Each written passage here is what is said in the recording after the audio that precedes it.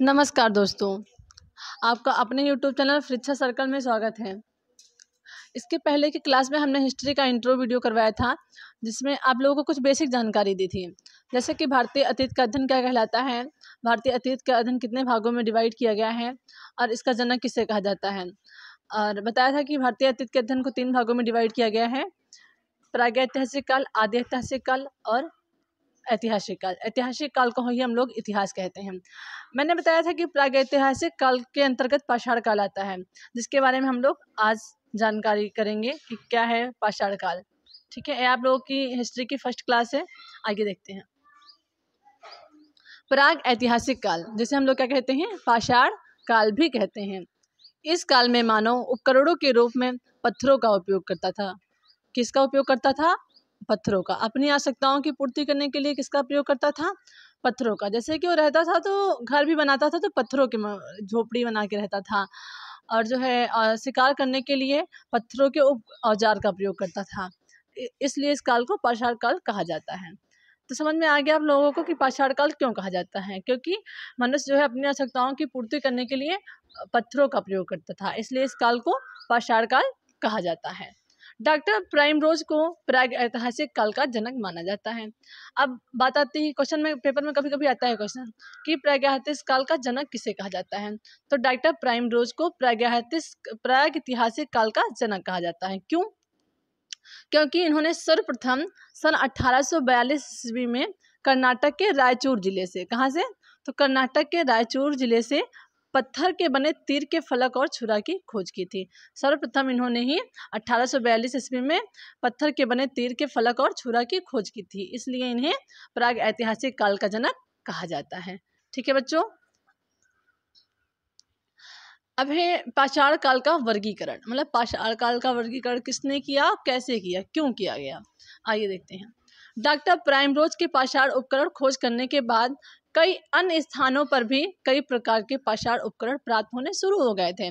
सर्वप्रथम doctor prime रोज ने उपकरणों की खोज की थी, किंतु उसके बाद में बहुत सारे स्थान पे और बहुत ज़्यादा ज़्यादा मात्रा में उपकरण प्राप्त हुए थे पाषाण काल के। जैसे सन अठारह सौ तिरपन ईस्वी में मध्य प्रदेश के नरसिंहपुर में नर्मदा नदी के किनारे बहुत ज़्यादा संख्या में उपकरण प्राप्त हुए थे। कब? तो अठारह सौ तिरपन ईस्वी में मध्य प्रदेश के नरसिंहपुर। एक नरसिंहपुर स्थान है। वहाँ से नर्मदा नदी के किनारे काफ़ी ज़्यादा संख्या में पाषाण उपकरण प्राप्त हुए थे। अब तक कई स्थानों से पाषाण उपकरण प्राप्त हो चुके थे और अठारह सौ तिरपन ईस्वी तक बहुत सारे, कई स्थानों से काफ़ी ज़्यादा मात्रा में पाषाण उपकरण प्राप्त हो चुके थे। सन अठारह ईस्वी में एक भूवैज्ञानिक रॉबर्ट ब्रूसफूट के द्वारा मद्रास के निकट पल्लवरम नामक स्थान से पत्थर की कुल्हाड़ी हैंडेक्स प्राप्त की गई थी। भूवैज्ञानिक थे एक रॉबर्ट ब्रूसफूट और इन्होंने पल्लवरम नामक स्थान से क्या किया था? एक कुल्हाड़ी, किसकी? पत्थर की कुल्हाड़ी। पत्थर की कुल्हाड़ी की खोज की थी, है ना? और भूवैज्ञानिक मीन्स होता है जो भूमि का अध्ययन करते हैं। भूमि का अध्ययन जो करते हैं, उन्हें क्या कहते हैं? भूवैज्ञानिक कहा जाता है, ठीक है? इन्होंने हैंडेक्स की खोज की थी। रॉबर्ट्स ब्रूस फूट ने सोचा, क्यों ना कि इन सभी पाषाण उपकरणों को काल के अनुसार बांटा जाए? तो इन्होंने पाषाण काल को दो भागों में बांट दिया। जो रॉबर्ट्स ब्रूस फूट थे, इन्होंने सोचा कि इतने सारे उपकरण प्राप्त हो रहे हैं ना तो हम क्यों ना इनको बांट दें, डिवाइड कर दें इनको भागों में, ताकि क्या हो जाए, पढ़ना आसान हो जाए। इन्होंने पाषाण काल को दो भागों में डिवाइड किया, पूरा पाषाण काल और नौ पाषाण काल। इसलिए इनको क्या कहा जाता है? भारतीय पाषाण काल का वास्तविक जनक माना जाता है। जो रॉबर्ट ब्रूस फ़ूड थे, इनको भारतीय पाषाण काल का वास्तविक जना जनक माना जाता है। कई बार पेपर में क्वेश्चन आ चुका है कि भारतीय पाषाण काल का वास्तविक जनक किसे माना जाता है? तो रॉबर्ट ब्रूस फ़ूड को भारतीय पाषाण काल का वास्तविक जनक माना जाता है। ठीक है? स्वतंत्रता प्राप्ति के पश्चात प्रोफेसर सुब्बा राव ने अपने सर्वेक्षण के द्वारा यह ज्ञात किया कि यूरोपियन पाषाण काल और भारतीय पाषाण काल के में पर्याप्त असमानताएँ हैं। जो प्रोफेसर सुब्बा राव थे, इन्होंने बताया कि जो यूरोपियन पाषाण काल है और भारतीय पाषाण काल है, उसमें बहुत सारे अंतर हैं। इसलिए इन्होंने कहा कि जो पाषाण काल है, उसको दो भागों में डिवाइड करके पढ़ना सही नहीं है। जो रॉबर्ट्स ब्रूस फ़ूड थे, इन्होंने यूरोपियन पाषाण काल के आधार पर दो भागों में डिवाइड कर दिया था। किंतु जब ये आए प्रोफेसर सुब्बा राव तो इन्होंने कहा, नहीं, दो भागों में डिवाइड करके पढ़ना उचित नहीं है। इसलिए इन्होंने एक जो है सम्मेलन था, उसमें प्रस्ताव रखा आइए देखते हैं। 1960 में इन्होंने भारतीय पाषाण काल को तीन भागों में बांटकर पढ़ा जाना चाहिए वाला प्रस्ताव दिल्ली में आयोजित विश्व पुरातात्विक सम्मेलन में रखा और वहाँ उनका यह प्रस्ताव मान लिया गया। एक पुरातात्विक सम्मेलन हो रहा था कहाँ पे? तो दिल्ली में सम्मेलन हो रहा था, जिसमें इन्होंने अपना प्रस्ताव रखा। इन्होंने अपना प्रस्ताव रखा कि जो है जो भारतीय पाषाण काल है, इसको तीन भागों में बांटकर पढ़ा जाना चाहिए। और इनका यह प्रस्ताव वहाँ पे स्वीकार कर लिया गया था। तभी से हम लोग क्या करते हैं, जो ये काल है पाषाण काल, इसको तीन भागों में डिवाइड करके पढ़ते हैं। तीन भागों में कौन कौन से भाग हैं, जिसमें हम डिवाइड किए थे? जिन प्रोफेसर सुब्बा राव के द्वारा। पूरा पाषाण काल, मध्य पाषाण काल और नव पाषाण काल। ठीक है? तीन भागों में प्रोफेसर सुब्बा राव ने डिवाइड किया था। पूर्व पाषाण काल मध्य पाषाण काल और नव पाषाण काल अब जानते हैं पूरा पाषाण काल क्या है। तो प्राप्त उपकरणों के आधार पर जितने उपकरण प्राप्त हुए थे, बहुत सारे उपकरण प्राप्त हुए थे ना, छोटे, बड़े, बहुत बड़े बड़े, है ना? तो उनके आधार पर पाषाण काल को तीन भागों में डिवाइड कर दिया। निम्न पूरा पाषाण काल मध्य पूरा पाषाण काल और उच्च पूरा पाषाण काल और आपको एक बात बता दें कि जो है इसमें समय को लेकर मतभेद है, जो पाषाण काल का समय है। इसमें बहुत सारे मतभेद हैं। किसी किताब में कोई समय लिखा है तो किसी किताब में कोई समय लिखा है। इसलिए आप लोग समय याद करने की ज़रूरत नहीं है। आप लोगों को और ना ही कभी एग्ज़ाम में पूछा गया है, ठीक? तो इस बात को आप लोग याद रखना। पूरा पाषाण काल के मानव जीवन का साक्ष्य भारत में कहीं नहीं मिला है। जो पूरा पाषाण काल है, इसका मानव के जीवन में साक्ष्य नहीं मिला है।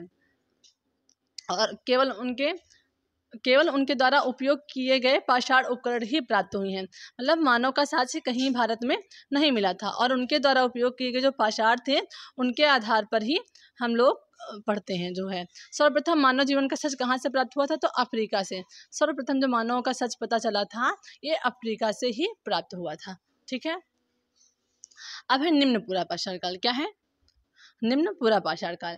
इस काल को उपकरणों के प्रयोग के आधार पर, किसके आधार पर? तो जो उपकरण हम लोग प्रयोग करते थे, है ना? उसके आधार पर इसको कोर संस्कृति का नाम दिया गया, जो निम्न पूरा पाषाण काल था। इसको उपकरणों के प्रयोग के आधार पर कोर संस्कृति का नाम दिया गया था। क्यों दिया गया था? क्योंकि इस काल में जो मनुष्य था मानव था, वो गोल पत्थर, इस चीज़ को हम लोग पेबुल बोलते हैं। क्या बोलते हैं? पेबुल। गोल पत्थर का के कोर भाग का प्रयोग करता था। जो मानव था और उस, इस समय पेबुल का प्रयोग करता था। पेबुल मीन्स होता है गोल पत्थर का प्रयोग करता था। इस सभ्यता के मानव मुख्यतः क्वार्टाइज पत्थर का प्रयोग करते थे। क्वार्टाइज जो क्वार्टाइट पत्थर था, ये बहुत मज़बूत पत्थर होता था और इस समय का मानव इसी पत्थर का प्रयोग करता था। पत्थर के कोर भाग का प्रयोग करके यह बहुत सारे उपकरण बनाते थे। कई उपकरण बनाते थे पत्थर का, पत्थर के कोर का प्रयोग करके। जैसे चापर, चापिंग बिदारड़ी हैंडेक्स हैंडेक्स में होता है पत्थर की कुल्हाड़ी। और चापर चापर होता है, जैसे गोल पत्थर था, इसको ही थोड़ा काट के साइड में एक तरफ़ क्या बना दिया जाता था? धार बना दी जाती थी। तो उसे चापर कहते थे, और वही पत्थर अगर दोनों तरफ़ धार बना दी जाती थी तो उसे चापिंग कहते थे। ठीक है? अब है निम्न पाषाण, निम्न पूरा पाषाण काल, क्या है? निम्न पूरा पाषाण काल। निम्न पूरा पाषाण काल के उपकरणों का प्राप्ति स्थल मतलब कहाँ से निम्न पूरा पाषाण काल के हमें उपकरण प्राप्त हुए हैं, कहाँ कहाँ से? तो मध्य प्रदेश के भीमबेटका से। कहाँ से? मध्य प्रदेश के भीमबेटका से। भीमबेटका, कहाँ नरसिंहपुर। वहाँ से भी हमको कुछ उपकरण प्राप्त हुई हैं। और राजस्थान के डिडवाना से, कहाँ से? तो राजस्थान के डिडवाना से, उत्तर प्रदेश के बेलन घाटी से। बेलन घाटी उत्तर प्रदेश के अंदर है, एक स्थान है, जहाँ से हमको निम्न पुरापाषाण काल के कुछ उपकरण प्राप्त हुए हैं। और महाराष्ट्र के निवासा से, कहाँ से? तो महाराष्ट्र में एक निवासा स्थान है, जहाँ से हमको निम्न पुरापाषाण काल के कुछ उपकरण प्राप्त हुए हैं। अगला है पाकिस्तान सोहन घाटी। पाकिस्तान के सोहन घाटी, पोतवार का पठार, पहलगांव। यहाँ से भी हमको निम्न पुरा पाषाण काल के कुछ उपकरण प्राप्त हुए हैं, ठीक है? अब है मध्य पूरा पाषाण काल। क्या है? मध्य पूरा पाषाण काल। तो मध्य पूरा पाषाण काल को फलक संस्कृति कहा जाता है। क्या कहा जाता है? फलक संस्कृति कहा जाता है। क्यों कहा जाता है? क्योंकि इस काल में मानव द्वारा पेबुल, यानी कि जो गोल पत्थर होता है, का फलक का प्रयोग किया जाने लगा था। इस समय जो है पेबुल का प्रयोग किया जाने लगा था।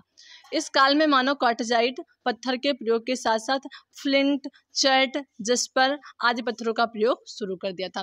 क्वार्टजाइट पत्थर का के साथ साथ और भी कई तरह के पत्थर थे, जैसे फ्लिंट चर्ट जिस्पर, है ना? इन सब पत्थरों का भी प्रयोग करना मानो शुरू कर दिया था। इसलिए इस काल को क्या मध्यपुरा पाषाण काल कहा जाता है। इन पत्थरों का प्रयोग करके मानव निम्न बहुत सारे उपकरण बनाता था। जो ये पत्थर हैं कॉटजाइट फ्लिंट चर्ट इनका प्रयोग करके मनुष्य अपना क्या बनाता था? उपकरण बनाते थे। खुरचनी, बेथनी तिछड़ी ये सब उपकरण मनुष्य बनाने लगा था। मध्यपुरा पाषाण काल के से प्राप्त उपकरण मध्यपुरा पाषाण काल में कहाँ कहाँ से उपकरण प्राप्त हुई हैं? तो महाराष्ट्र के निवासा परवरा नदी के किनारे परवरा नदी के किनारे से हमको मध्यपुरा पाषाण काल के कुछ उपकरण प्राप्त हुए हैं। मध्य प्रदेश के हथनौरा से, कहाँ से?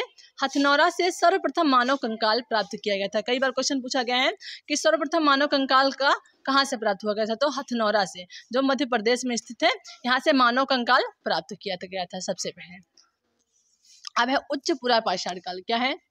उच्च पुरा पाषाण काल। इस काल को ब्लड संस्कृति कहा जाता है। क्या कहता है? ब्लड संस्कृति कहा जाता है। क्यों? क्योंकि इस काल में मानो फलक के एक या दोनों तरफ़ ब्लेड की तरह बनाना शुरू कर दिया था। जो फलक थे, जो उनके दोनों तरफ़ क्या? ब्लेड की तरह बनाना शुरू कर दिया था। इसलिए इस काल को हम लोग क्या कहते हैं? ब्लेड संस्कृति का नाम दिया गया था। इस काल में भी उपकरण बनाने के लिए मानो कॉटजाइट फ्लिंट, चर्ट जिस पर आदि पत्थरों का उपयोग करता था। इस काल में भी मनुष्य वही कॉटजाइट, फ्लिंट चर्ट जिस्पर, है ना, आदि पत्थरों का उपयोग करता था। मानव उपरोक्त पत्थरों का उपयोग करके निम्नलिखित उपकरण बनाता था। बहुत सारे इन्हीं पत्थरों का उपयोग करके कई उपकरणों का, बनाते थे, जैसे खुरचनी, तीछड़ी, बेधनी, इन सब का प्रयोग, इन जो है, जो ये पत्थर थे, इनके प्रयोग से औज़ार उपकरण बनाते थे। ठीक है? अगला है उच्च पुरा पाषाण काल। क्या है? उच्च पुरा पाषाण काल से प्राप्त उपकरण। कहाँ कहाँ से प्राप्त हुए उच्च पुरा पाषाण काल के? उपकरण। उत्तर प्रदेश की बेलन घाटी से। कहा, उत्तर प्रदेश की जो बेलन घाटी है, वहाँ से हमको उच्च पुरा पाषाण काल के कुछ उपकरण प्राप्त हुए हैं। और छत्तीसगढ़ से। कहाँ से? छत्तीसगढ़ के नागपुर का पठार। नागपुर का पठार है, बहुत ज़्यादा फ़ेमस है। वहाँ से हमको उच्च पुरा पाषाण काल के कुछ उपकरण प्राप्त हुए हैं। फिर आंध्र प्रदेश के कुरनूल चित्तूर से। कहा? तो आंध्र प्रदेश के कुर्नूल चित्तूर एक स्थान है। वहाँ से हमको उच्च पुरापाषाण काल के कुछ उपकरण प्राप्त हुए हैं। अब देखते हैं कि कुछ इम्पोर्टेंट फैक्ट है ना? पेपर में कई बार पूछे जाते हैं। जैसे कि जो पूरा पाषाण काल के मानव था, उसको जो है कृषि का कोई ज्ञान नहीं था। जो पूरा पाषाण काल के मानव था, उसको कृषि का किसी भी तरह का ज्ञान नहीं था। आग की खोज हुई, परंतु प्रयोग नहीं हो पाता था। आग की खोज हो गई थी पूरा पाषाण काल में, किंतु उसकी जो है, उसका प्रयोग मानव नहीं कर पा रहा था। मानव घुमंतु प्रकृति के थे, जो उस समय का मानव था, मनुष्य था, वो कैसा था? घुमंतु था, और उसका कोई भी स्थायी आवास नहीं था कि वो अपना वहाँ पे ही रहे। उसका कोई स्थायी आवास नहीं होता था। किसी बर्तन का प्रयोग कोई प्रयोग का कोई साक्ष्य नहीं मिलता था और जो पूरा पाषाण काल का मानव था, वो बर्तनों का प्रयोग नहीं करता था और करता भी, नहीं करता था तभी कोई वहाँ से अभी तक बर्तन के कोई साक्ष्य नहीं मिला है। इस काल का मानव उत्पादक नहीं, केवल संग्राहक था। मतलब जो पूरा पाषाण काल का मनुष्य था, वो उत्पादक नहीं करता था, केवल संग्राहक था। संग्रह मतलब बड़े बड़े जानवरों का शिकार करके भोजन के रूप में संग्रह करता था, खा लेता था और बचा खुचा जो हो बच जाता था, उसे ले जाता था, अगले दिन के लिए रख लेता था। इसलिए संग्राहक बोला गया इसे, ठीक है? अगर आपको ये वीडियो हेल्पफुल लगी हो तो प्लीज़ चैनल को सब्सक्राइब करें वीडियो को लाइक करें और कमेंट बॉक्स में कमेंट करना ना भूलें। आपकी अब डेली क्लास अपलोड कर दी जाएगी। कुछ प्रॉब्लम चल रही थी, इस वजह से वीडियो अपलोड नहीं कर पा रहे थे अभी तक, ठीक है? तब तक के बाय बाय और अपनी तैयारी खूब अच्छे से करिएगा और कोई प्रॉब्लम हो तो कमेंट बॉक्स में कमेंट करके बताइएगा। Okay bye bye